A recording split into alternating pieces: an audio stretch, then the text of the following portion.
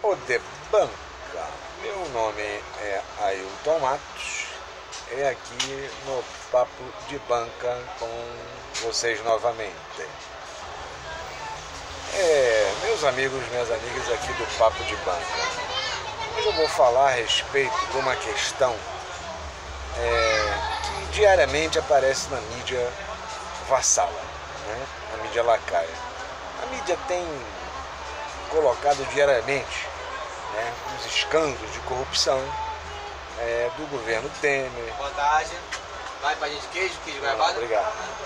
Do governo Temer, do governo, dos governos estaduais, das prefeituras, como se a Rede Globo fosse a paladina da ética, da moralidade. Tal, né? Passa na televisão né, isso diariamente como se fosse uma coisa é, defensora da moralidade, dos bons costumes, né, do dinheiro público.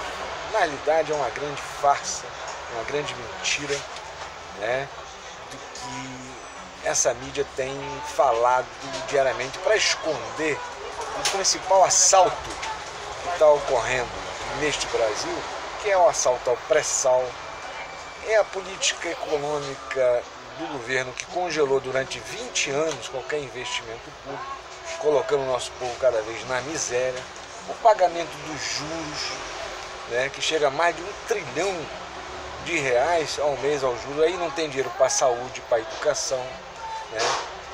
o assalto à riqueza nacional nos minérios, a venda, inclusive agora, do nosso satélite, fabricado no Brasil, a privatização dos portos, dos aeroportos, né?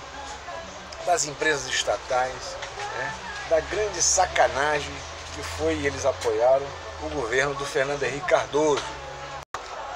Os oito anos daquele governo, daquele desgoverno lacaio, como dizia o ex-governador revolucionário Leonel Brizola, Fernando Henrique tinha que ser fuzilado como traidor da pátria.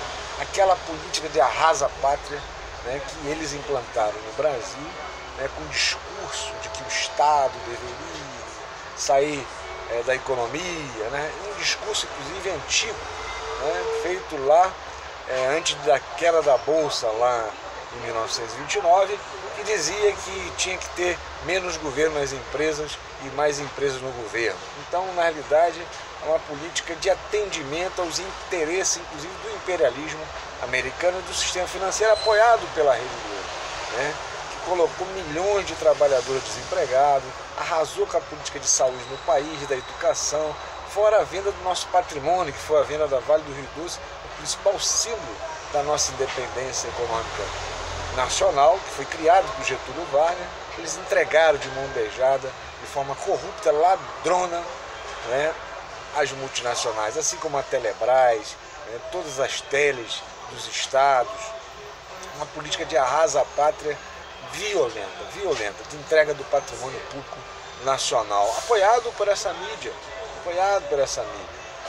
Então, meus amigos, o que é que essa mídia faz com relação a isso? Não que esses ladrões canalhas não tenham que ser punidos, né?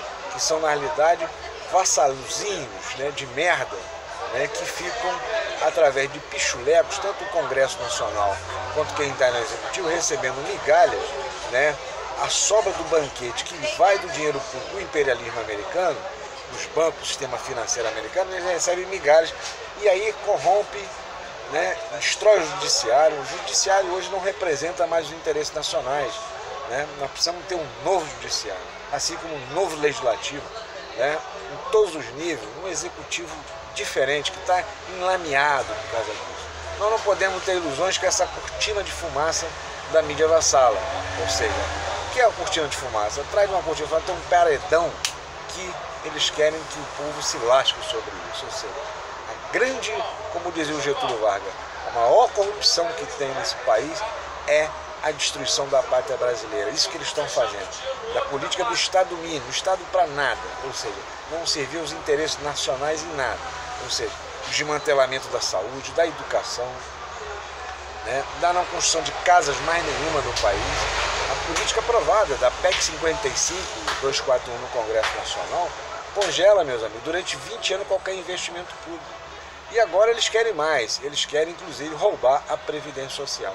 O que está por trás disso é nos desviar a atenção da principal estratégia dessa mídia vassala, dessa lacaiada, que é a privatização da Previdência Social, acabar com a Previdência Social para que ninguém mais se aposente, a Previdência Social pública, né, o fim da CLT, ou seja, passarmos a trabalhar de forma semi-escrava, antes, inclusive, lá no início do século passado, antes da Revolução de 30, os direitos sociais, trabalhistas, a saúde, a educação, né, os salários, né, a vida das pessoas, a nossa vida de trabalhadores, a vida das empresas, dos empresariados nacionais, né, a vida dos servidores públicos eles querem destruir, ou seja, acabar com o Estado Nacional, deixar o Brasil numa situação cada vez mais de miséria para aumentar o lucro deles, para aumentar ou seja, a especulação financeira dessa gente que quer roubar a pátria brasileira. Não tenhamos ilusão, não tenhamos ilusão com relação a essas denúncias diariamente colocadas sobre isso, né? que tem que, na realidade, botar essa gente na cadeia. Michel Temer e a sua quadrilha tem que ir para a cadeia, não é fora Temer não. Fora Temer é defensivo demais, tem que ser cadeia. Cadeia para Temer e sua quadrilha. Cadeia para Roberto Marinho, os marinhos têm que ser presos porque são traidores da pátria. Cadeia para aqueles que querem entregar o patrimônio público é, da nação brasileira, colocar o nosso povo na miséria para atender o sistema financeiro, as multinacionais. É, entregar o nosso pré-sal para as multinacionais, a Shell e a Texaco, isso é um crime de lesa pátria, é um crime à nação brasileira. Né? Destruir a Petrobras como querem destruir os Correios, destruir o Banco do Brasil, destruir a Caixa Econômica Federal. Isso que isso que está em jogo, é isso que eles estão querendo que a gente engula. Assim. Então, meus amigos, a greve geral, agora no dia 30, convocada pelas centrais sindicais, pelos trabalhadores, pelos sindicatos, ela é legítima e justa correta para denunciar justamente essa política nefasta, bandida, que esses fascistas que estão no poder querem impor à nação brasileira. Parabéns aos sindicatos, parabéns às centrais sindicais, parabéns aos trabalhadores que estão unidos no sentido de barrar, frear né, nesse Congresso Nacional a dita morte da Previdência Social, a morte da CLT, das leis trabalhistas. Todo apoio no dia 30 à greve geral das centrais sindicais, dos trabalhadores e as mobilizações que vão ocorrer em todo o Brasil. Apesar do boicote da mídia, apesar de toda não, não divulgação, mas nós aqui nas redes sociais, com os trabalhadores, os seus sindicatos estão mobilizando para levantar a bandeira dos seus direitos, defender a previdência os direitos trabalhistas, defender a pátria. Tem que fazer concretamente é defender a pátria brasileira. A pátria está sendo ameaçada, né? o Brasil está sendo ameaçado pela ganância, pela sacanagem, pela ganância dessa gentalha que está a serviço não dos interesses do povo do Brasil. Nós da Frente Getulista de Libertação Popular getulista de libertação nacional, estamos solidários, estaremos juntos nessa greve geral em todo o Brasil para defender os interesses dos trabalhadores e os interesses da pátria brasileira. Essa bandeira aqui, a bandeira dessa nação, construída com sangue e suor do nosso povo brasileiro, não vão querer que a gente, nós não, não vamos nos render. Jamais nós não vamos nos render diante dessa política que quer entregar a pátria à nação brasileira. A pátria e o Brasil está de pé né, contra essa gente que quer nos colocar na miséria, destruir os interesses do Brasil, os interesses da pátria brasileira. Vamos nos unir, todos os brasileiros, para construir uma pátria soberana, popular, democrática, unidos e fortes, nós vamos dizer a essa gente no dia 30 que esse Brasil tem gente disposta, gente de luta, que não vai se render a essa política pró-imperialismo americano. O Brasil é nosso, o Brasil pertence aos brasileiros. Eles querem roubar nossas riquezas, brasileiros e brasileiras. Isso que está em jogo. A ponto de o um ministro, banqueiro Meléres da Fazenda, esse ladrão sem vergonha, dizer que tem que vender as terras brasileiras para o capital especulativo financeiro. Vender as terras onde está o nosso urânio, o nosso ouro, o nosso diamante, onde tem petróleo, onde tem minério, onde está a nossa riqueza e as nossas madeiras. Eles querem isso, inclusive nos deixar morrer de sede ao querer tomar a nossa água. Isso nós não podemos permitir. E não vamos permitir, porque enquanto houver um brasileiro amante dessa pátria, nós não vamos permitir que isso aconteça. Porque o que está em jogo é a defesa dos interesses nacionais do Brasil, no nosso desenvolvimento soberano, a nossa democracia, a participação popular. E para isso nós temos que estar unidos e fortes para poder enfrentar essa gente. Juntar um empresariado verdadeiramente nacional, os servidores públicos civis e militares, as mulheres, a juventude, os trabalhadores como um todo, numa grande união para a gente sair forte, enfrentar juntamente essa gente que quer destruir a nação brasileira.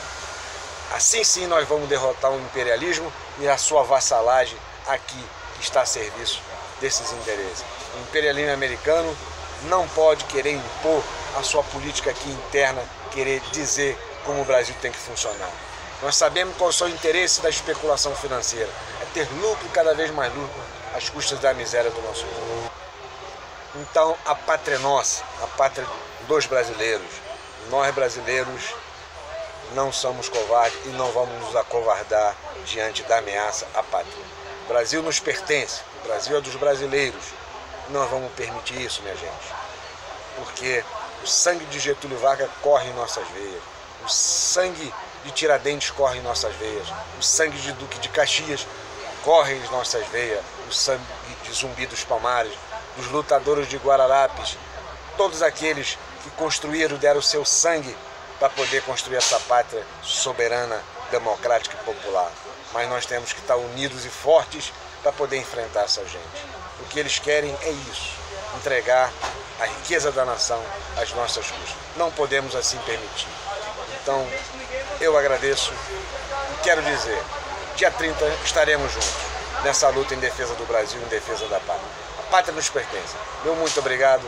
Papo de Banca. Meu nome é Ailton Mato, Frente Popular Getulista de Libertação Nacional. Meu muito obrigado.